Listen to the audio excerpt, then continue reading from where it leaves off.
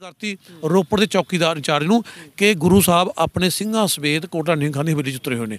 ਤਾਂ ਫੌਰਨ ਚੌਕੀ ਇੰਚਾਰਜ ਆਪਣੇ ਫੌਜੀਆਂ ਨੂੰ ਲੈ ਕੇ, ਪੁਲਿਸ ਵਾਲਿਆਂ ਨੂੰ ਲੈ ਕੇ ਹਵੇਲੀ ਆ ਕੇ ਘੇਰਦਾ ਰਾਤ ਨੂੰ ਤੇ ਹਵੇਲੀ ਤਲਾਸ਼ੀ ਦੇਣ ਲਈ ਕਹਿੰਦਾ ਤਾਂ ਕੋਟਲਾ ਨਹੀਂ ਖਾਨ ਨੂੰ ਪਤਾ ਲੱਗਦਾ ਤਾਂ ਉਹ ਭਾਈ ਬਚਿੱਤਰ ਬਚਿੱਤਰ ਸਿੰਘ ਦੇ ਕਮਰੇ ਜਿੱਥੇ ਭਾਈ ਬਚਿੱਤਰ ਸਿੰਘ ਬੈਠੇ ਥੇ, ਉਹਦੇ ਵਿੱਚ ਆਪਣੀ ਕੁਆਰੀ ਧੀ ਮੁਮਤਾਜ਼ ਮਹਿਲ ਨੂੰ ਭੇਜ ਦਿੰਦਾ ਹੈ ਤੇ ਬਾਹਰੋਂ ਦਰਵਾਜ਼ਾ ਬੰਦ ਕਰ ਦਿੰਦਾ ਜਦੋਂ ਚੌਕੀ ਇੰਚਾਰਜ ਹਵੇਲੀ ਦੀ ਤਲਾਸ਼ੀ ਲੈਂਦਾ ਹੋਇਆ, ਉਸ ਗੇਟ ਦੇ ਅੱਗੇ ਆ ਖਲੋਂਦਾ ਜਿੱਥੇ ਭਾਈ ਬਚਿੱਤਰ ਸਿੰਘ ਜ਼ਖਮੀ ਹਾਲਤ 'ਚ ਪਏ ਸੀ।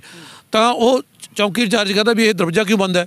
ਤਾਂ ਗੁਰੂ, ਤਾਂ ਕੋਟਲਾ ਨਹੀਂ ਖਾਨ ਕਹਿੰਦਾ ਕਿ ਇਸ ਕਮਰੇ 'ਚ ਮੇਰੇ ਧੀ ਜਵਾਈ ਸੁੱਤੇ ਨੇ। ਤਾਂ ਚੌਕੀ ਇੰਚਾਰਜ ਨੇ ਕਿਹਾ ਮਾਫ ਕਰਨਾ ਇਤਲਾਹ ਦੇਣ ਵਾਲੇ ਨੇ ਗਲਤ ਬਿਆਨੀ ਕੀਤੀ ਹੈ। ਤੁਹਾਡੀ ਧੀ ਜਵਾਈ ਕਿ ਸਾਡੇ ਧੀ ਜਵਾਈ? ਇਸ ਕਰਕੇ ਉਹ ਉੱਥੋਂ ਚਲੇ ਜਾਂਦਾ ਵਾਪਸ। ਹੁਣ ਇੱਥੇ ਸਵਾਲ ਪੈਦਾ ਹੁੰਦਾ ਇੱਕ ਅਣਖੀ ਤੇ ਗੈਰਤਮੰਦ ਪਿਤਾ ਲਈ ਆਪਣੀ ਜਾਨ ਦੇ ਦੇਣਾ ਦਾ ਸੌਖਾ ਕੰਮ ਹੋ ਸਕਦਾ ਹੈ। ਪਰ ਆਪਣੀ ਕੁਆਰੀ ਧੀ ਦੀ ਇੱਜ਼ਤ ਬੜਾ ਔਖਾ ਹੈ। ਹੁਣ ਇਹ ਤਾਂ ਸਵਾਲ ਇਹ ਪੈਦਾ ਹੁੰਦਾ ਹੈ ਕਿ ਕੋਟਰਾ ਨਹੀਂ ਖਾਨੇ ਆਪਣੀ ਕੁਆਰੀ ਧੀ ਦੀ ਇੱਜ਼ਤ ਇੱਕ ਅਜਿਹੇ ਵਿਅਕਤੀ ਲਈ ਜਿਹੜਾ ਦੂਜੇ ਧਰਮ ਦਾ ਸੀ। ਗੁਰੂ ਕਲਗੀਧਰ ਪਾਤਸ਼ਾਹ ਜੀ ਦੇ ਸੁਪੁੱਤਰ ਬਾਬਾ ਜੋਰਾਵਰ ਸਿੰਘ, ਬਾਬਾ ਫਤਿਹ ਸਿੰਘ ਜੀ, ਜਿਨ੍ਹਾਂ ਨੂੰ ਨੀਹਾਂ ਦੇ ਵਿੱਚ ਚਿੰਨ ਦਾ ਹੁਕਮ ਦਿੱਤਾ ਗਿਆ, ਉਸ ਵਕਤ ਹਾਦਾ ਨਾਰਾ ਮਾਰਨ ਵਾਲੇ ਨਵਾਬ ਮਲੇਰਕੋਟਲਾ, ਉਹਨਾਂ ਦੀ ਜਨਮ ਭੂਮੀ ਖੜੇ ਆ ਮਲੇਰਕੋਟਲਾ ਦੇ ਵਿੱਚ ਤੇ ਸਾਡੇ ਨਾਲ ਨੇ ਇਸ ਵਕਤ ਡਾਕਟਰ ਨਸੀਰ ਅਖਤਰ, ਜਿਹੜੇ ਲਗਭਗ ਇਸ ਤਰ੍ਹਾਂ ਦੀ ਕੋਸ਼ਿਸ਼ ਕਰਦੇ ਰਹਿੰਦੇ ਨੇ ਕਿ ਸਾਰੀ ਲੋਕਾਈ ਇਕਜੁੱਟ ਰਵੇ। ਸਾਰੇ ਇੱਕੋ ਪਰਮਾਤਮਾ ਦੇ ਅੱਲਾ ਦੇ ਭਗਵਾਨ ਦੇ ਪੁੱਤਰ ਨੇ ਸਾਰੇ ਮਿਲ ਜੁਲ ਕੇ ਰਹਿਣ। ਇਸੇ ਸਬੰਧ ਦੇ ਵਿੱਚ ਇਹਨਾਂ ਨਾਲ ਗੱਲਬਾਤ ਕਰਾਂਗੇ। ਡਾਕਟਰ ਸਾਹਿਬ ਸਵਾਗਤ ਹੈ ਜੀ। ਬਹੁਤ ਬਹੁਤ ਧੰਨਵਾਦ। ਤੁਸੀਂ ਆਪਣੇ ਚੈਨਲ ਦੇ ਥਰੂ ਮੈਨੂੰ ਸਰੋਤਿਆਂ ਦੇ ਰੂਬਰੂ ਹੋਣ ਦਾ ਮੌਕਾ ਦਿੱਤਾ। ਜੀ। ਡਾਕਟਰ ਸਾਹਿਬ ਤੁਸੀਂ ਸੰਸਥਾ ਇੱਕ ਖੜੀ ਕੀਤੀ ਸਿੱਖ ਮੁਸਲਿਮ ਸਾਂਝਾ ਸੰਸਥਾ। ਜਿਸ ਦੇ ਤੁਸੀਂ ਸੰਸਥਾਪਕ ਹੋ, ਤੁਹਾਡਾ ਕਈ ਨੌਜਵਾਨਾਂ ਦਾ ਗਰੁੱਪ ਹੈ ਇਸ ਦੇ ਵਿੱਚ। ਇਸ ਸੰਸਥਾ ਨੂੰ ਬਣਾਉਣ ਪਿੱਛੇ ਮਕਸਦ ਕੀ ਸੀ? ਕਿਉਂਕਿ ਇਹ ਸਵਾਲ ਉੱਠਦਾ ਹੈ ਕਿ ਸਿੱਖ ਮੁਸਲਿਮ ਸਾਂਝਾ। ਸਾਰੀਆਂ ਤਾਰੀਫਾਂ ਉਸ ਰੱਬ ਲਈ ਨੇ, ਜਿਹੜਾ ਸਾਰੇ ਜਗ ਦਾ ਸਾਜਨਹਾਰ ਤੇ ਪਾਲਨਹਾਰ ਹੈ। ਉਸ ਇੱਕ ਰੱਬ ਨੂੰ ਹੀ ਵੱਖ-ਵੱਖ ਭਾਸ਼ਾਵਾਂ ਵਿੱਚ ਅੱਲਾ ਅਕਾਲ ਪੁਰਖ ਪ੍ਰਭੂ, ਪਰਮਾਤਮਾ, ਲਾਰਡ ਗੋਡ ਆਦਿ ਨਾਮਾਂ ਦੁਆਰਾ ਯਾਦ ਕੀਤਾ ਜਾਂਦਾ ਹੈ। ਜਿਵੇਂ ਤੁਸੀਂ ਕਿਹਾ ਕਿ ਅਸੀਂ ਸਾਰੇ ਇੱਕ ਰੱਬ ਦੇ ਬੰਦੇ ਆ ਲੇਕਿਨ ਔਰ ਜਿਹੜਾ ਸਿੱਖ ਧਰਮ ਹੈ, ਉਹਦੀ ਜਿਹੜੀ ਨੀਂਹ ਰੱਖੀ ਸੀ, ਪਹਿਲੀ ਪਾਤਸ਼ਾਹੀ ਸਿੱਖੀ ਦੇ ਮੋਢੀ ਧੰਨ ਧੰਨ ਸ੍ਰੀ ਗੁਰੂ ਨਾਨਕ ਸਾਹਿਬ ਨੇ, ਉਹ ਅਕਾਲ ਪੁਰਖ ਦੀ, ਰੱਬ ਦੀ ਏਕਤਾ ਦੀ ਨੀਂਹ ਤੇ ਰੱਖੀ ਸੀ। ਤੇ ਇਸਲਾਮ ਦੀ ਜਿਹੜੀ ਨੀਂਹ ਹੈ ਉਹ ਵੀ ਰੱਬ ਦੀ ਏਕਤਾ ਜਿਹੜੀ ਤੌਹੀਦ ਹੈ। ਇਸੇ ਕਰਕੇ ਗੁਰੂ ਸਾਹਿਬ ਬਾਰੇ ਪ੍ਰਸਿੱਧ ਸ਼ਾਇਰ ਹੋਏ ਨੇ ਡਾਕਟਰ ਅਲਾਮਾ ਇਕਬਾਲ ਉਹਨਾਂ ਨੇ ਗਵਾਹੀ ਦਿੱਤੀ ਹੈ। ਫਿਰ ਉਠੀ ਆਖਿਰ ਸਦਾ ਤੌਹੀਦ ਕੀ ਪੰਜਾਬ ਸੇ? ਤੌਹੀਦ ਕਹਿੰਦੇ ਰੱਬ ਦੀ ਏਕਤਾ। ਫਿਰ ਉਠੀ ਆਖਿਰ ਸਦਾ ਤੌਹੀਦ ਕੀ ਪੰਜਾਬ ਸੇ? ਹਿੰਦ ਕੋ ਇੱਕ ਮਰਦੇ ਕਾਮਿਲ ਨੇ ਜਗਾਇਆ ਖਾਬ ਸੇ। ਯਾਨੀ ਕਿ ਸਾਡੀ ਜਿਹੜੀ ਸਾਂਝ ਹੈ ਉਹ ਤੌਹੀਦ ਦੀ ਸਾਂਝ ਹੈ। ਕਿਉਂਕਿ ਧੰਨ ਧੰਨ ਸ੍ਰੀ ਗੁਰੂ ਨਾਨਕ ਸਾਹਿਬ ਨੇ ਸਿੱਖੀ ਜਿਹੜੀ ਸਥਾਪਨਾ ਕੀਤੀ ਸੀ, ਅਕਾਲ ਪੁਰਖ ਦੀ ਏਕਤਾ ਦੀ ਨੀਂਹ ਤੇ ਕੀਤੀ ਸੀ। ਤੇ ਇਸਲਾਮ ਦੀ ਜਿਹੜੀ ਨੀਂਹ ਹੈ, ਉਹ ਵੀ ਅਕਾਲ ਪੁਰਖ ਦੀ ਰੱਬ ਦੀ ਏਕਤਾ ਹੈ। ਤੇ ਜਦੋਂ ਅਸੀਂ ਬੜੇ ਹੋਏ ਦੇਖਿਆ ਵੀ ਸਾਡੇ 'ਚ ਬਹੁਤ ਸਾਰੇ ਵਿਤਕਰੇ ਨੇ, ਬਹੁਤ ਸਾਰੇ ਭਰਮ ਭੁਲੇਖੇ ਨੇ, ਤਾਂ ਮੈਨੂੰ ਲੱਗਿਆ ਵੀ ਕਿਤੇ ਨਾ ਕਿਤੇ ਕੁਝ ਗੜਬੜ ਜ਼ਰੂਰ ਹੋਈ ਹੈ। ਤੇ ਉਹਦੀ ਹੀ ਸਿੱਟਾ ਸੀ ਸਾਡਾ 47 47 ਜਿਹਦੇ ਵਿੱਚ 10 ਤੋਂ 12 ਲੱਖ ਲੋਕ ਮਾਰੇ ਗਏ, ਜਿਹਦੇ ਵਿੱਚ ਕਿਸੇ ਦਾ ਕੋਈ ਨੁਕਸਾਨ ਨਹੀਂ ਹੋਇਆ, ਪੰਜਾਬ ਦਾ, ਪੰਜਾਬੀਅਤ ਦਾ ਤੇ ਪੰਜਾਬੀਆਂ ਦਾ ਨੁਕਸਾਨ ਹੋਇਆ ਦੋਹਾਂ ਪਾਸੇ। ਤੇ ਇਸ ਲਈ ਸਾਨੂੰ ਲੱਗਿਆ ਵੀ ਸਾਨੂੰ ਉਹ ਦੇਖਣੇ ਚਾਹੀਦੇ ਨੇ ਕਾਰਨ, ਜਿਸ ਕਰਕੇ ਸਾਡੇ 'ਚ ਐਡਾ ਬੜਾ ਇਹ ਹਾਦਸਾ ਹੋਇਆ, ਸਾਡੇ ਲੋਕ ਦੋਵੇਂ ਪਾਸੇ ਵੰਡੇ ਗਏ। ਤਾਂ ਮੈਨੇ ਦੇਖਣ ਜੇ ਆਇਆ ਵੀ ਸਾਡੇ ਇਤਿਹਾਸ 'ਚ ਬਹੁਤ ਸਾਰਾ ਇਤਿਹਾਸ ਰਲਗੜ ਕਰ ਦਿੱਤਾ ਗਿਆ ਮਲਗੋਬਾ ਕਰ ਦਿੱਤਾ ਗਿਆ। ਜਿਹਦੀ ਬੁਨਿਆਦ ਬੁਨਿਆਦ ਤੇ ਜਿਹੜੇ ਭੈੜੇ ਲੋਕ, ਜਿਹੜੇ ਹਰ ਕੌਮ 'ਚ ਹੁੰਦੇ ਨੇ, ਕਿਉਂਕਿ ਕੋਈ ਵੀ ਕੌਮ ਸਾਰੀ ਸਾਰੀ ਚੰਗੀ ਨਹੀਂ ਹੁੰਦੀ, ਸਾਰੀ ਸਾਰੀ ਬੁਰੀ ਨਹੀਂ ਹੁੰਦੀ। ਤੇ ਜਦੋਂ ਅੰਗਰੇਜ਼ ਉਰੇ ਆਏ, ਤਾਂ ਉਹਨਾਂ ਨੇ ਦੇਖਿਆ ਵੀ ਸਿੱਖ ਤੇ ਮੁਸਲਮਾਨ ਦੋ ਦਲੇਰ ਕੌਮਾਂ ਨੇ, ਜਿਨ੍ਹਾਂ ਦੀ ਏਕਤਾ ਤੇ ਮਿਲਾਪ ਅੰਗਰੇਜ਼ ਰਾਜ ਦੀਆਂ ਜੜ੍ਹਾਂ ਨੂੰ ਛੇਤੀ ਹੀ ਖੋਖਲਿਆ ਕਰਨ ਦਾ ਕਾਰਨ ਬਣ ਸਕਦਾ ਹੈ। ਇਸ ਲਈ ਉਸਨੇ ਅਜਿਹੀਆਂ ਸਾਖੀਆਂ ਤੇ ਇਤਿਹਾਸਿਕ ਘਟਨਾਵਾਂ, ਸਿੱਖਾਂ ਤੇ ਮੁਸਲਮਾਨਾਂ ਦੇ ਇਤਿਹਾਸ 'ਚ ਦਰਜ ਕਰਵਾਈਆਂ, ਜਿਹੜੀਆਂ ਇਹਨਾਂ ਦੋਹਾਂ ਕੌਮਾਂ ਨੂੰ ਇੱਕ ਦੂਜੇ ਦਾ ਦੂਰ ਲੈ ਜਾਣ ਦਾ ਕਾਰਨ ਬਣੀਆਂ। ਇਹ ਇੱਕ ਸੱਚਾਈ ਹੈ ਕਿ ਜੇ ਸਿੱਖਾਂ ਤੇ ਮੁਸਲਮਾਨਾਂ ਦੇ ਇਤਿਹਾਸ ਵਿੱਚ ਅਜਿਹੀਆਂ ਸਾਖੀਆਂ ਤੇ ਇਤਿਹਾਸਿਕ ਘਟਨਾਵਾਂ ਦਰਜ ਨਾ ਹੁੰਦੀਆਂ, ਜਿਹੜੀਆਂ ਇਹਨਾਂ ਦੋਹਾਂ ਕੌਮਾਂ ਨੂੰ ਇੱਕ ਦੂਜੇ ਤੋਂ ਦੂਰ ਲੈ ਜਾਣ ਦਾ ਕਾਰਨ ਬਣੀਆਂ, ਤਾਂ ਸਿੱਖ ਮੁਸਲਮਾਨ ਨੂੰ ਏਕਤਾ ਨੂੰ ਕੋਈ ਅਨੇਕਤਾ 'ਚ ਬਦਲਣ ਦੇ ਯੋਗ ਨਹੀਂ ਹੋ ਸਕਦਾ ਸੀ।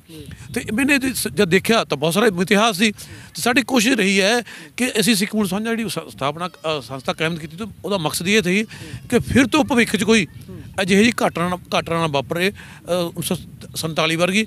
ਤੇ ਇਸ ਲਈ ਅਸੀਂ ਕੋਸ਼ਿਸ਼ ਕੀਤੀ ਹੈ ਕਿ ਸਾਡੇ ਜਿਹੜੇ ਭਰਮ ਭੁਲੇਖੇ ਨੇ ਉਹ ਮਿਥਿਹਾਸਿਕ ਘਟਨਾਵਾਂ ਨੂੰ ਦੂਰ ਕਰਕੇ ਅਸੀਂ ਫਿਰ ਤੋਂ ਉਹੀ ਪਿਆਰ ਪੈਦਾ ਕਰੀਏ ਜਿਹੜਾ ਧੰਨ ਧੰਨ ਸ੍ਰੀ ਗੁਰੂ ਨਾਨਕ ਸਾਹਿਬ ਜਾਂ ਗੁਰੂ ਸਾਹਿਬਾਨ ਦੇ ਸਮੇਂ ਮੁਸਲਮਾਨਾਂ ਦੇ ਬਜ਼ੁਰਗਾਂ ਦਾ ਆਪਸ ਵਿੱਚ ਹੀ ਥਾ। ਜੀ ਜਿਸ ਤਰ੍ਹਾਂ ਇਸ ਸੰਸਥਾ ਨਾਮ ਹੈ ਸਿੱਖ ਮੁਸਲਿਮ ਸਾਂਝਾ ਤੇ ਤੁਸੀਂ ਇਸ ਦੇ ਬਾਰੇ ਗੱਲਬਾਤ ਕਰੀਏ ਜਾਣਕਾਰੀ ਦਿੱਤੀ ਹੈ ਇਹ ਵੀ ਸਵਾਲ ਉੱਠਦਾ ਹੈ ਕਿ ਇਸ ਸੰਸਥਾ ਦੇ ਵਿੱਚ ਹਿੰਦੂ ਜਾਂ ਈਸਾਈ ਹੋਰਾਂ ਦਾ ਨਾਮ ਕਿਉਂ ਨਹੀਂ ਸ਼ਾਮਲ ਕੀਤਾ ਗਿਆ? ਦੇਖੋ ਇਹ ਸਿੱਧੀ ਜੀ ਗੱਲ ਹੈ। ਮੈਂ ਅਕਸਰ ਕਹਿੰਦਾ ਹੁੰਨਾ ਵੀ ਜਿਹੜਾ ਸਾਡਾ ਸਮਾਜ ਹੈ ਉਹ ਇੱਕ ਮਾਂ-ਬਾਪ ਦੀ ਔਲਾਦ ਹੈ। ਇੱਕ ਮਾਂ-ਬਾਪ ਦੇ ਚਾਰ ਬੱਚੇ ਸੀਗੇ ਜਾਂ ਪੰਜ ਬੱਚੇ ਸਮਝ ਲਓ। ਉਹਨਾਂ ਵਿੱਚੋਂ ਦੋ ਭਰਾਵਾਂ ਦੋ ਪੁੱਤਰਾਂ 'ਚ ਲੜਾਈ ਹੋ ਪਈ। ਤਾਂ ਆਪਾਂ ਸੁਲਹ ਤਾਂ ਉਹਨਾਂ ਦੀ ਕਰਾਵਾਂਗੇ ਨਾ। ਤੇ ਜਿੱਥੋਂ ਤੱਕ ਦੇਖਿਆ ਜਾਵੇ ਨਾ ਕੋਈ ਹਿੰਦੂ ਧਰਮ ਹਿੰਦੂਆਂ ਨਾਲ ਝਗੜਾ ਹੈਗਾ ਨਾ ਦਲਿਤਾਂ ਨਾਲ ਨਾ ਈਸਾਈਆਂ ਨਾਲ। ਕਿਉਂਕਿ ਜਿਵੇਂ ਮੈਂ ਦੱਸਿਆ ਵੀ ਸਾਡੀ ਜਿਹੜੇ ਦੋ ਦਲੇਰ ਕੌਮਾਂ ਥੀਆਂ ਪੰਜਾਬ 'ਚ ਸਿੱਖ ਤੇ ਮੁਸਲਮਾਨ ਵਸਦੇ ਤੇ ਇਹਨਾਂ ਵਿੱਚ ਭਰਮ ਭੁਲੇਖੇ ਪਾਏ ਗਏ, ਇਹਨਾਂ ਵਿੱਚ ਲੜਾਈਆਂ ਕਰਾਈਆਂ ਗਈਆਂ। ਤੇ ਹੁਣ ਜਿਨ੍ਹਾਂ ਵਿੱਚ ਲੜਾਈਆਂ ਹੋਣਗੀਆਂ, ਉਹਨਾਂ 'ਚ ਸੁਲ੍ਹਾ ਕਰਾਈ ਜਾਊਗੀ। ਉਹਨਾਂ ਨਾਲ ਤਾਂ ਸ- ਕੋਈ ਝਗੜੇ ਦਾ ਸਵਾਲ ਹੀ ਪੈਦਾ ਨਹੀਂ ਹੁੰਦਾ ਹੈਗਾ। ਕੋਈ ਵਿਤਕਰੇ ਦੀ ਗੱਲ ਹੀ ਨਹੀਂ ਹੈਗੀ। ਉਹਨਾਂ ਨਾਲ ਸਾਡਾ ਕੋਈ ਝਗੜਾ ਹੀ ਨਹੀਂ ਹੈਗਾ, ਕਿਉਂਕਿ ਝਗੜਾ ਸਿੱਖਾਂ ਤੇ ਮੁਸਲਮਾਨਾਂ 'ਚ ਕਰਾਇਆ ਗਿਆ ਹੈਗਾ।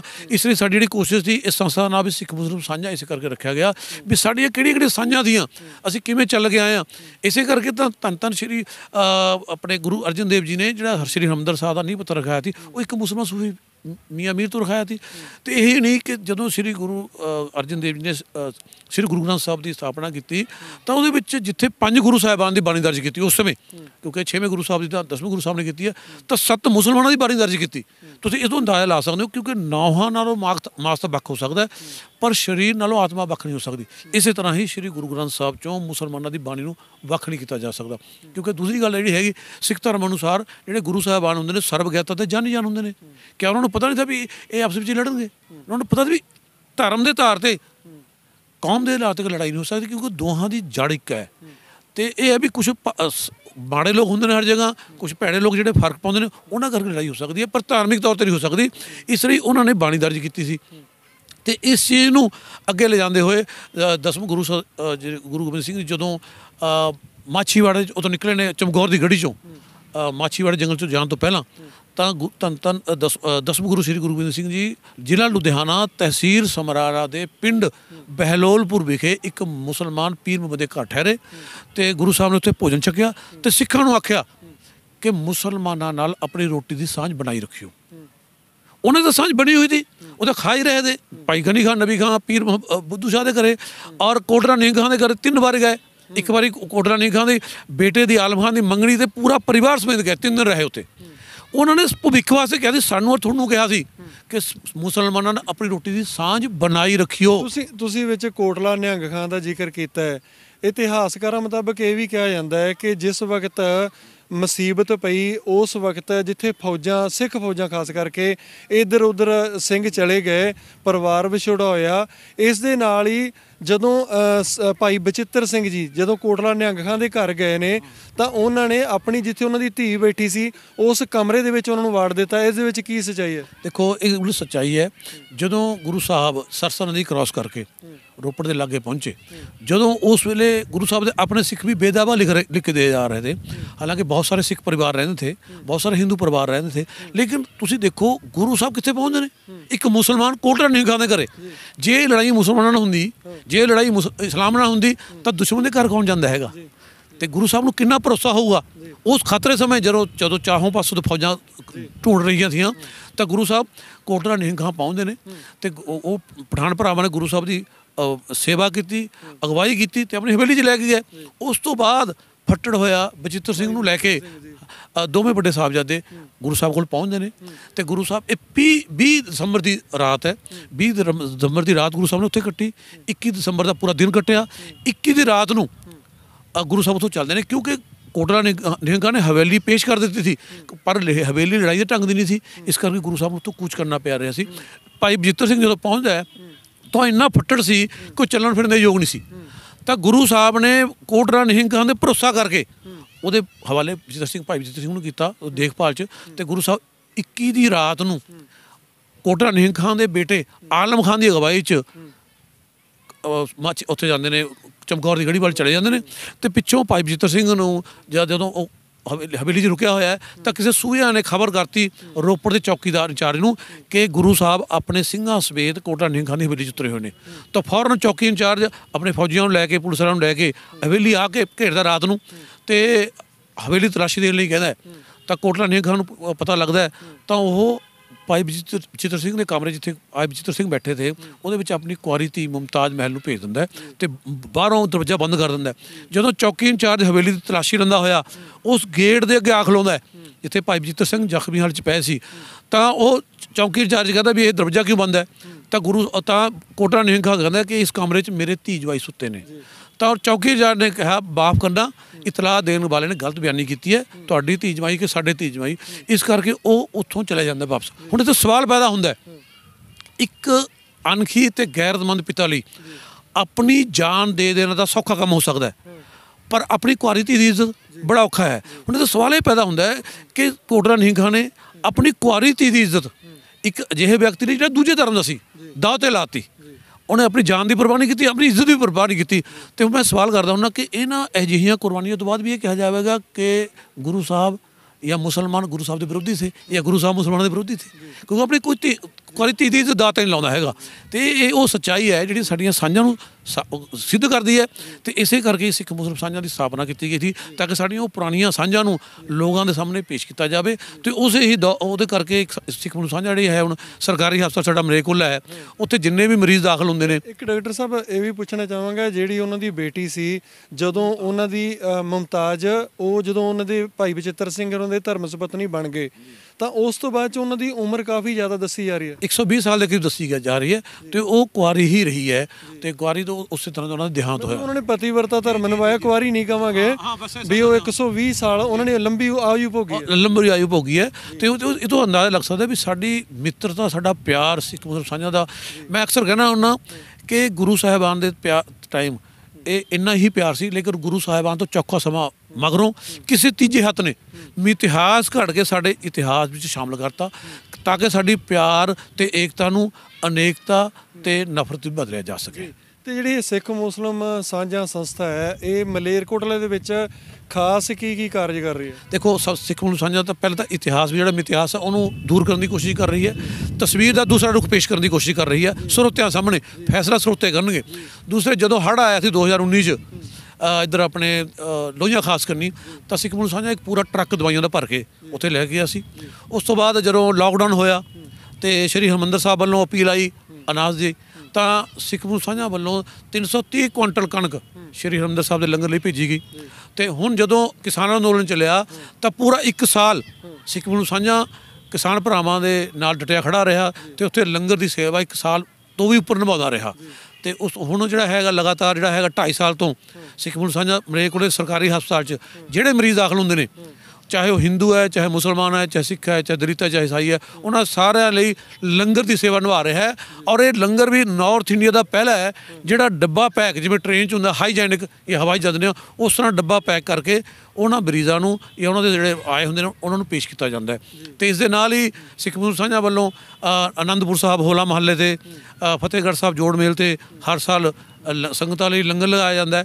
ਤੇ ਨਾਲ ਹੀ ਇੱਕ ਲੈਬ, ਪੀਸ ਲੈਬ ਦੇ ਨਾਮ ਨਾਲ ਲੈਬੋਰਟਰੀ ਜਿਹੜੀ ਮੇਰੇ ਕੋਲ ਸ਼ੁਰੂ ਕੀਤੀ ਗਈ ਹੈ, ਜਿਹਦੇ ਵਿੱਚ ਸ਼ਹਿਰ 'ਚ ਸਭ ਤੋਂ ਸਸਤੇ ਰੇਟਾਂ ਤੇ ਟੈਸਟ ਕੀਤੇ ਜਾਂਦੇ ਨੇ ਤੇ ਜੁ, ਸ਼ੁੱਕਰਵਾਰ ਵਾਲੇ ਦਿਨ ਸ਼ੂਗਰ ਟੈਸਟ ਫ੍ਰੀ ਕੀਤਾ ਜਾਂਦਾ ਹੈ ਔਰ ਵੈਸੇ ਵੀ ਸ਼ੂਗਰ ਟੈਸਟ 10 ਰੁਪਏ 'ਚ ਕੀਤਾ ਜਾਂਦਾ ਹੈ ਔਰ ਜਿਹੜਾ ਸੀਬੀਸੀ ਟੈਸਟ ਹੈ ਜਿਹੜਾ 150 200 250 ਲੋਕ ਲੈਂਦੇ ਨੇ, ਉਹ ਸਿਰਫ 50 ਰੁਪਏ 'ਚ ਕੀਤਾ ਜਾਂਦਾ ਹੈ। ਇਸ ਦੇ ਬਾਵਜੂਦ ਵੀ ਅਗਰ ਕੋਈ ਬੇਸਹਾਰਾ ਗਰੀਬ ਹੈ, ਕਿਸੇ ਵੀ ਧਰਮ ਦਾ, ਤਾਂ ਉਹਦਾ ਫ੍ਰੀ ਵੀ ਟੈਸਟ ਕੀਤੇ ਜਾਂਦੇ ਨੇ। ਤੇ ਇਹ ਕਿੱਥੇ ਹੈ ਜਿਹੜੀ ਲੈਬੋਰੇਟਰੀ ਇੱਕ ਵਾਰੀ ਫਿਰ ਦੱਸ ਦਿਓ ਜਿਹੜੇ ਕਈ ਵਾਰੀ ਤੁਹਾਨੂੰ ਇਸ ਟਾਈਮ ਵੈਸੇ ਪੂਰੀ ਦੁਨੀਆ 'ਚ ਤੁਸੀਂ ਸੁਣੇ ਜਾ ਰਹੇ ਹੋ ਪਰ ਕੋਈ ਨੇੜੇ ਤੇੜੇ ਦੇ ਨੇ ਮਲੇਰਕੋਟਲਾ ਦੇ ਦੇ ਨਾਭਾ ਪਟਿਆਲਾ ਜਾਂ ਕੋਈ ਮਰੀਜ਼ ਕਿਤੋਂ ਵੀ ਆ ਸਕਦਾ ਹੈ ਸਰਕਾਰੀ ਹਸਪਤਾਲ 'ਚ ਜਾਂ ਇਹ ਹੈ ਕਿੱਥੇ? ਇਹ ਸੱਠੇ ਬਾਜ਼ਾਰ ਤੋਂ ਦਿੱਲੀ ਗੇਟ ਰੋਡ ਤੇ ਦਿੱਲੀ ਗੇਟ ਜਿਹੜਾ ਚੌਂਕ ਹੈ ਉਹਦੇ ਵਿਚਕਾਰ ਪੰਜਾਬ ਉਰਦੂ ਅਕੈਡਮੀ ਹੈ ਉਹਦੇ ਬਿਲਕੁਲ ਲਾਗੇ ਪੀਸ ਲੈਬ ਦੇ ਲੈਬੋਰੇਟਰੀ ਦੇ ਨਾਮ ਨਾਲ ਸਾਡੀ ਇਹ ਲੈਬੋਰੇਟਰੀ ਕਾਇਮ ਕੀਤੀ ਗਈ ਹੈ ਇੱਥੋਂ ਸਭ ਲੋਕ ਫਾਇਦਾ ਉਠਾਉਂਦੇ ਨੇ ਔਰ ਕੋਸ਼ਿਸ਼ ਕਰਦੇ ਆ ਵੀ ਕੋਈ ਵੀ ਇੱਥੋਂ ਖਾਲੀ ਹੱਥ ਨਾ ਜਾਵੇ।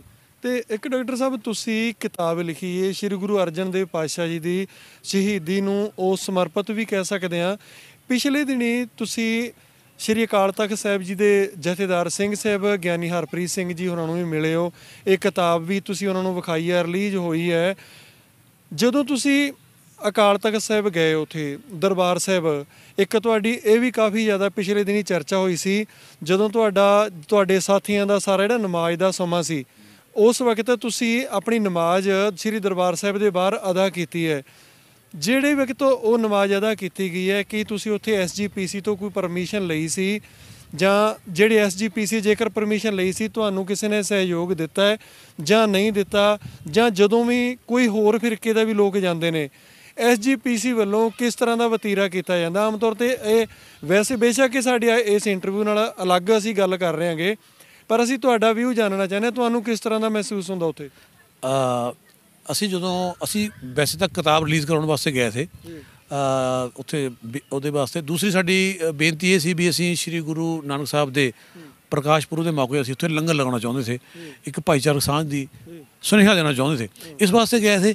ਇਸੇ ਦਰਮਿਆਨ ਹੀ ਸਾਡੀ ਜਿਹੜੀ ਅਸਰ ਦੀ ਨਮਾਜ਼ ਹੈ ਅ, ਸਬਕ 4 ਵਜੇ ਪੜ੍ਹੀ ਜਾਂਦੀ ਉਹਦਾ ਟਾਈਮ ਹੋ ਗਿਆ ਤੇ ਬਹੁਤ ਉਹ ਟਾਈਮ ਸ਼ਾਰਟ ਸੀਗਾ। ਦੁਪਹਿਰ ਦੀ ਨਮਾਜ਼ ਸਾਡੀ ਕਜ਼ਾ ਹੋ ਰਹੀ ਸੀ ਲੇਟ ਹੋ ਰਹੀ ਸੀ ਤੇ ਅਸੀਂ ਮਸਜਿਦ 'ਚ ਨਮਾਜ਼ ਪੜ੍ਹਨ ਜਾ ਰਹੇ ਤੇ ਤੇ ਇੱਕ ਦੋ ਸਾਥੀਆਂ ਨਾਲ ਸਾਡੇ ਗੱਲ ਕੀਤੀ ਉਹ ਕਹਿੰਦੇ ਕੋਈ ਨਾ ਇੱਥੇ ਬਾਹਰ ਜਿਹੜਾ ਚੁਗਰਦਾ ਹੈ ਇੱਥੇ ਪੜ੍ਹ ਲਓ ਹਰਮੰਦਰ ਸਾਹਿਬ ਦੇ ਬਾਹਰ। ਤੇ ਅਸੀਂ ਇਨਫੋਰਮੇਸ਼ਨ ਆਫਿਸ 'ਚ ਗਏ। ਅਸੀਂ ਉਹਨਾਂ ਨੂੰ ਬੇਨਤੀ ਕੀਤੀ ਵੀ ਅਸੀਂ ਨਮਾਜ਼ ਪੜ੍ਹਨਾ ਚਾਹੁੰਦੇ ਹਾਂ ਤੇ ਉਹਨਾਂ ਨੇ ਸਾਨੂੰ ਵੈਲਕਮ ਕੀਤਾ ਤੇ ਆਪਣਾ ਇੱਕ ਜਿਹੜੀ ਕਿ ਜਿਹੜਾ ਸੀਗਾ ਉਹਨਾਂ ਦਾ ਸੇਵਾਦਾਰ ਉਹਨੂੰ ਉੱਥੇ ਝਾੜੂ ਦੇਣ ਲਈ ਭੇਜਿਆ। ਬਾਹਰ ਜਿਹੜੀ ਚੌਂਤਰਾ ਫਰਸ਼ ਸੀਗਾ ਤੇ ਨਾਲ ਹੀ ਉਹਨਾਂ ਨੇ ਉੱਥੇ ਵਾਈਪਰ ਵਗੈਰਾ, ਪੋਚਾ ਵਗੈਰਾ ਲਗਾਇਆ। ਤੇ ਸਾਡੇ ਕੋਲ ਕੱਪੜਾ ਵੀ ਨਹੀਂ ਤੇ ਸਾਨੂੰ ਕੱਪੜਾ ਵੀ ਦਿੱਤਾ ਪੜਨ ਵਾਸਤੇ। ਤੇ ਇਸ ਕਰਕੇ ਅਸੀਂ ਨਮਾਜ਼ ਅਦਾ ਕੀਤੀ ਹੈ। ਅਦਰਵਾਈਜ਼ ਨਹੀਂ, ਅਸੀਂ ਉਹ ਕਰਨਾ ਸੀ। ਟਾਈਮ ਹੋ ਗਿਆ ਸੀ ਤੇ ਅਸੀਂ ਉਹਨੂੰ, ਸਾਨੂੰ ਬਹੁਤ ਅੱਛਾ ਵੈਲਕਮ ਕੀਤਾ, ਸਾਨੂੰ ਉਹਨੇ ਇਨਵਾਈਟ ਕੀਤਾ, ਬੈਠਣ ਵਾਸਤੇ ਵੀ ਕਿਹਾ। ਔਰ ਬ- ਬਹੁਤ ਅੱਛਾ ਸਹਿਯੋਗ ਸੀ ਸਾਡੇ ਨਾਲ ਉਹਨਾਂ ਨਾਲ। ਜਿਸ ਤਰ੍ਹਾਂ ਜਿਹੜੀ ਕਿਤਾਬ ਦੀ ਆਪਾਂ ਗੱਲ ਕੀਤੀ ਜਾਵੇ, ਤਾਂ ਉਸ ਦੇ ਵਿੱਚ ਥੋੜਾ ਜਿਹਾ ਅਸੀਂ ਸੰਖੇਪ ਵਿੱਚ ਜ਼ਰੂਰ ਜਾਣਨਾ ਚਾਹਾਂਗੇ। ਤੁਸੀਂ ਕਿਸ ਤਰ੍ਹਾਂ ਦਾ ਉਸ ਦੇ ਵਿੱਚ ਇੱਕ ਨਵਾਂ ਇਤਿਹਾਸ ਲੈ ਕੇ ਆਏ ਹੋ? ਤੇ ਸਿੰਘ ਸਾਹਿਬ ਉਹਨਾਂ ਦਾ ਕਿਸ ਤਰ੍ਹਾਂ ਦਾ ਇਸ ਦੇ ਉੱਪਰ ਵਿਊ ਰਿਹਾ ਆਪਣਾ?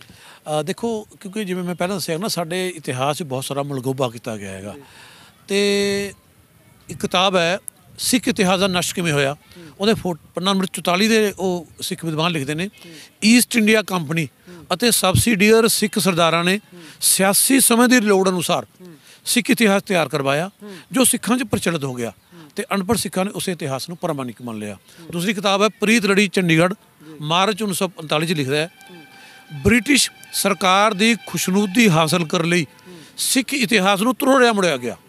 ਠੀਕ ਹੈ ਸਾਨੂੰ ਲੱਗਦਾ ਵੀ ਬਹੁਤ ਸਾਰਾ ਇਤਿਹਾਸ 'ਚ ਗੜਬੜ ਕੀਤੀ ਗਈ ਹੈ ਤੇ ਅਸੀਂ ਆਪਣੇ ਵੱਲੋਂ ਕੁਝ ਨਹੀਂ ਕਰ ਰਹੇ। ਅਸੀਂ ਬਲਕਿ ਤੇ ਸਿੱਖ ਲਿਟਰੇਚਰ ਦੇ ਆਧਾਰ ਤੇ ਉਹ ਇਤਿਹਾਸਿਕ ਘਟਨਾਵਾਂ ਪੇਸ਼ ਕਰਨ ਦੀ ਕੋਸ਼ਿਸ਼ ਕੀਤੀ ਹੈ, ਜੋ ਸਿੱਖ ਇਤਿਹਾਸਕਾਰਾਂ ਨੇ ਆਪ ਹੀ ਵਰਣਨ ਕੀਤੀਆਂ ਨੇ। ਹੁਣ ਜਿਹੜੇ ਜੱਜ ਨੇ ਉਹ ਸਰੋਤੇ ਨੇ। ਉਹ ਫੈਸਲਾ ਕਰਨਗੇ। ਅਸੀਂ ਉਹਦੇ ਵਿੱਚ ਕੋਈ ਫੈਸਲਾ ਨਹੀਂ ਕੀਤਾ। ਅਸੀਂ ਤਸਵੀਰ ਦਾ ਦੂਸਰਾ ਰੁਖ ਵੀ ਦਿਖਾਇਆ। ਉਹ ਘਟਨਾਵਾਂ ਪੇਸ਼ ਕੀਤੀਆਂ ਨੇ ਤਾਂ ਕਿ ਲੋਕ ਦੋਵਾਂ ਪਾਸਿਆਂ ਨੂੰ ਦੇਖ ਕੇ ਸਹੀ ਫੈਸਲਾ ਕਰ ਸਕਣ। ਕਿਉਂਕਿ ਇਹ ਇਹ ਇਨਸਾਫ ਦੀ ਗੱਲ ਨਹੀਂ ਹੈ ਕਿ ਜੱਜ ਇੱਕ ਬੰਦੇ ਦੀ ਗੱਲ ਸੁਣ ਕੇ ਫੈਸਲਾ ਕਰ ਦੇਵੇ। ਉਹਨੂੰ ਦੋਹਾਂ ਧਿਰਾਂ ਦੀ ਗੱਲ ਸੁਣਨੀ ਚਾਹੀਦੀ ਹੈ, ਫਿਰ ਫੈਸਲਾ ਕਰਨਾ ਚਾਹੀਦਾ ਅਸੀਂ ਦੋਵੇਂ ਪੱਖ ਪੇਸ਼ ਕਰਨ ਦੀ ਕੋਸ਼ਿਸ਼ ਕੀਤੀ ਹੈ, ਸ਼੍ਰੀ ਗੁਰੂ ਅਰਜਨ ਦੇਵ ਜੀ ਸ਼ਹੀਦੀ ਦੇ ਸੰਬੰਧਿਤ ਕਿਉਂਕਿ ਇਸਲਾਮ 'ਚ ਜਿਵੇਂ ਮੈਂ ਦੱਸਿਆ, ਕਿਸੇ ਨਿਰਦੋਸ਼ ਦਾ ਕਤਲ ਇੱਕ ਬਹੁਤ ਬੜਾ ਪਾਪ ਮੰਨਿਆ ਜਾਂਦਾ ਹੈ। ਔਰ ਇਸਲਾਮ 'ਚ ਇੱਕ ਚੈਪਟਰ ਹੈ ਅਲ ਬਖਰਾ ਉਹਦਾ ਕਾਨੂੰਨ ਨੰਬਰ 256 ਲਾ ਇਕਰਾਹ ਫਿদ্দੀਨ ਇਸਲਾਮ 'ਚ ਜ਼ੋਰ ਜ਼ਬਰਦਸਤੀ, ਜੇ ਧੱਕੇ ਲਈ ਕੋਈ ਥਾਂ ਹੀ ਨਹੀਂ ਹੈ, ਨਾ ਤਾਂ ਕਿਸੇ ਨੂੰ ਧੱਕੇ ਨਾਲ ਮੁਸਲਮਾਨ ਬਣਾਇਆ ਜਾ ਸਕਦਾ ਨਾ ਕਿਸੇ ਨਿਰਦੋਸ਼ ਦਾ ਕਤਲ ਹੋ ਸਕਦਾ ਹੈ, ਤੇ ਇਸ ਲਈ ਇੱਕ ਜਿਹੜੀ ਕਿਤਾਬਾਂ, ਇਹ ਸਾਕੇ ਤੇ ਉਹਨੂੰ ਇਸਲਾਮ ਨਾਲ ਜੋੜਨ ਦੀ ਕੋਸ਼ਿਸ਼ ਕੀਤੀ ਗਈ ਹੈ ਸ਼ਰਾਰਤੀ ਲੋਕਾਂ ਵੱਲੋਂ। ਅਸੀਂ ਸਿਰਫ ਫੈਕਟ ਪੇਸ਼ ਕੀਤੇ ਨੇ। ਬਾਕੀ ਹਰ ਕੌਮ 'ਚ ਅੱਛੇ ਬੁਰੇ ਲੋਕ ਹੁੰਦੇ ਨੇ। ਕਿਸੇ ਬੰਦੇ ਦੀ ਕਿਸੇ ਮਾੜੀ ਘਟਨਾ ਨੂੰ ਉਸੇ ਧਰਮ ਜਾਂ ਕੌਮ ਨਾਲ ਜੋੜਿਆ ਨਹੀਂ ਜਾ ਸਕਦਾ। ਜਿਵੇਂ ਮੈਂ ਦੱਸਦਾ, ਮੇਰੀ ਗਰਦਨ ਤੇ ਕੋਈ ਤਲਵਾਰ ਰੱਖੇ ਮੈਨੂੰ ਇਹ ਕਹੇ ਵੀ ਤੂੰ ਇਸਲਾਮ ਕਬੂਲ ਕਰ। ਤੂੰ ਇਸਲਾਮ ਕਬੂਲ ਹੀ ਨਹੀਂ ਹੁੰਦਾ। ਕਿਉਂਕਿ ਜਦੋਂ ਤੱਕ ਤੁਸੀਂ ਮਨ ਦੇ ਵਿਸ਼ਵਾਸ ਨਾਲ ਉਹ ਨਹੀਂ ਕਹਿੰਦੇ ਹੈਗੇ ਹੁਣ ਦੁਨੀਆ 'ਚ ਕੋਈ ਐਸਾ ਥਰਮੋਮੀਟਰ ਤਾਂ ਹਾਲ ਤੱਕ ਬਣਿਆ ਨਹੀਂ। ਮੈਂ ਮੂੰਹ 'ਚ ਲਾ ਕੇ ਦੇਖ ਲਾਂ ਵੀ ਇਹ ਦਿਲੋਂ ਕਲਮਾ ਪੜ ਰਿਹਾ ਹੈ ਇਹ ਉੱਪਰੋਂ ਉੱਪਰੋਂ ਪੜ ਰਿਹਾ ਹੈ। ਜਦੋਂ ਦਿਲੋਂ ਉਹਨੇ ਕੀਤਾ ਹੀ ਨਹੀਂ ਹੈ ਫਿਰ ਉਹ ਮੁਸਲਮਾਨ ਬਣ ਹੀ ਨਹੀਂ ਸਕਦਾ। ਇਸਲਾਮ ਤੋਂ ਕਬੂਲ ਹੋ ਹੀ ਨਹੀਂ ਸਕਦਾ ਹੈਗਾ। ਇਸ ਤਰ੍ਹਾਂ ਬਹੁਤ ਸਾਰੀ ਚੀਜ਼ਾਂ ਜਿਹੜੀਆਂ ਨੇ ਉਹ ਪ੍ਰਚਲਿਤ ਨੇ ਤੇ ਉਹ ਮੈਂ ਉਹ ਕਿਤਾਬ 'ਚ ਫੈਕਟ ਕੀਤੇ ਨੇ ਉਹ ਦੋਵੇਂ ਪੱਖ ਰੱਖੇ ਨੇ। ਬਾਕੀ ਸਰੋਤੇ ਦੇਖਣ ਸਿੰਘ ਸਾਹਿਬ ਉਹਨਾਂ ਦਾ ਕੀ ਪ੍ਰਤੀਕਰਮ ਸੀ? ਮੈਂ ਸਿੰਘ ਸਾਹਿਬ ਨੇ ਇਹੀ ਕਿਹਾ ਸੀ ਕਿ ਬੜੀ ਅੱਛੀ ਗੱਲ ਹੈ ਕਿਤਾਬ ਰਿਲੀਜ਼ ਹੋਈ ਹੈ। ਹੁਣ ਜਿਹੜੇ ਸਾਡੇ ਵਿਦਵਾਨ ਨੇ ਸਕਾਲਰ ਨੇ ਉਹਨਾਂ ਨੂੰ ਇਹਦੇ ਪਰ ਰਿਸਰਚ ਕਰਨੀ ਚਾਹੀਦੀ ਹੈ ਔਰ ਜਿਹੜਾ ਇਤਿਹਾਸ ਗਰਦਾ ਪਿਆ ਹੈ, ਉਹਨੂੰ ਸਾਫ਼ ਕਰਨਾ ਚਾਹੀਦਾ ਹੈ। ਜੀ ਜੀ। ਸੋ, ਇਹ ਸਨ ਡਾਕਟਰ ਨਸੀਰ ਅਖਤਰ, ਜਿਨ੍ਹਾਂ ਨੇ ਸਿੱਖ ਮੁਸਲਮ ਸਾਂਝਾ ਸੰਸਥਾ ਬਾਰੇ ਜਾਣਕਾਰੀ ਦਿੱਤੀ ਹੈ। ਇਸ ਤੋਂ ਇਲਾਵਾ ਜਿਸ ਤਰ੍ਹਾਂ ਦਾ ਇਹ ਸ੍ਰੀ ਦਰਬਾਰ ਸਾਹਿਬ ਜਦੋਂ ਗਏ ਨੇ, ਗੁਰੂ ਨਾਨਕ ਪਾਤਸ਼ਾਹ ਜੀ ਦੇ ਗੁਰਪੁਰਬ ਸਮੇਂ ਤੇ ਉੱਥੇ ਆਪਣੀ ਕਿਤਾਬ ਵੀ ਲੈ ਕੇ ਗਏ ਨੇ, ਜਿਸ ਤਰ੍ਹਾਂ ਸਿੰਘ ਸਾਹਿਬ ਉਹਨਾਂ ਨੇ ਇਸ ਸੰਬੰਧੀ ਆਪਣੀ ਗੱਲਬਾਤ ਰੱਖੀ ਹੈ। ਆਉਣ ਵਾਲੇ ਸਮੇਂ ਦੇ ਵਿੱਚ ਇਸ ਪੁਸਤਕ ਸੰਬੰਧੀ ਤੇ ਹੋਰ ਜਿਹੜੇ ਸਿੱਖ ਜਾਂ ਹੋਰ ਧਿਰਾਂ ਨਾਲ ਸੰਬੰਧਿਤ ਮਸਲੇ ਨੇ, ਉਹਨਾਂ ਤੇ ਵੀ ਇਹਨਾਂ ਨਾਲ ਗੱਲਬਾਤ ਜ਼ਰੂਰ ਕਰਾਂਗੇ। ਸਮਾਂ ਦੇ ਲਈ ਡਾਕਟਰ ਸਾਹਿਬ ਬਹੁਤ ਬਹੁਤ ਧੰਨਵਾਦ। ਬਹੁਤ ਬਹੁਤ ਸ਼ੁਕਰੀਆ ਬਹੁਤ ਬਹੁਤ ਧੰਨਵਾਦ ਜੀ।